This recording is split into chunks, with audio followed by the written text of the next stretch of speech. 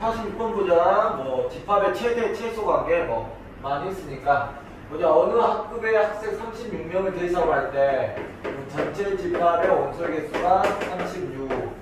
그때 교통수단을 조사할 때 버스를 이용한다. 버스를 뭐 A 집합을 한다. 그렇지. 그럼 A 집합의 원소의 개수가 22개. 그럼 지하철 이용한 학생, 지하철 B라고 할까? 지하철 이용하는 원소의 개수는 9개. 그때 버스와 지하철을 모두 이용하는 버스와 지하철 버스가 A고 지하철 B고 모두 교집합이지 이놈의 원소의 개수 몇 개? 다섯 명 이상일 때 오케이? 이때 버스와 지하철 중 적어도 버스와 지하철 때 버스 또는 지하철 적어도 그러면 합집합이 그렇죠? 그놈의 원소의 개수 오케이? 최대 A면 최대 맥시멈 A 미니멈 B 이놈의 구하라고 했는 우리 친구. 합집합과 교집합이 나왔다. 빡 떠올라야지 우리 친구들. 뭐야? 공식 빡 떠올라야지. 그렇지. A 합집합 B는 그렇죠? A 집합 더하기. B 집합 더하기. 교집합을 빼주는 거지. 그렇지 우리 친구. 그러면 지금 보면 A 합집합 B의 최대값인 이놈이 최대값이 되려면 이놈은 고정값이니까 고정값이니까 우리 친구 오케이?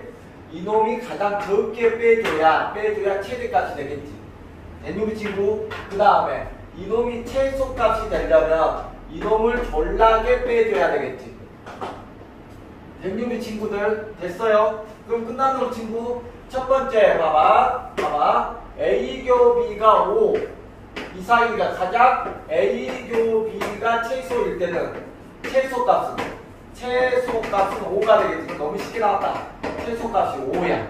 그래서 32 더하기 9 최소값 5. 오케이? 최소값을 빼주면 최대값이 나온다고 했지. 그래, 그래 안 그래 친구. 그래서 얼마니 친구? 어 32에다가 22냐 이거? 아 이거 안 팔까네.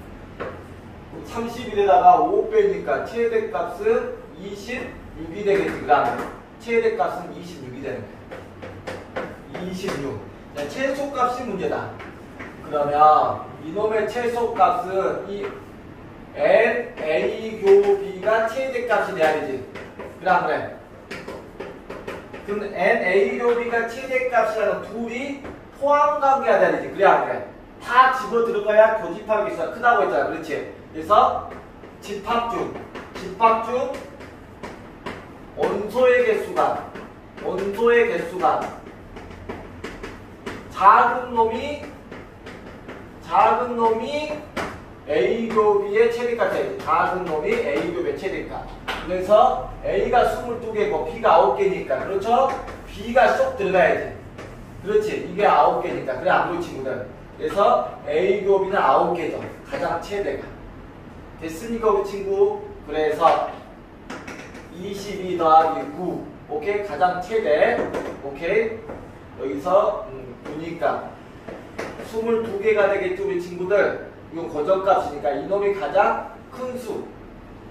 오케이? 가장 큰 수를 빼줘야 가장 작은 수가 되니까 최소값. 얘는 22이 되겠네. 됐습니까 우리 친구? 그래서 A 더하기 B를 구하라고 했으니까 26 더하기 22니까 답은 48이 되겠다. 됐습니까 우리 친구?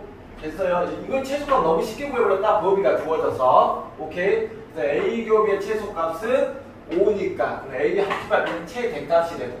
오케이. A 교비의 최대값은 두 집합 중에서 포함관계가 성립돼야 되니까 쏙 들어가야 되니까 쏙 들어가려면 작은 놈이 들어가야지. 그래서 둘 중에 원소에서 작은 놈이 어, 이 A교의 최대값이 되죠. 됐습니까? 예.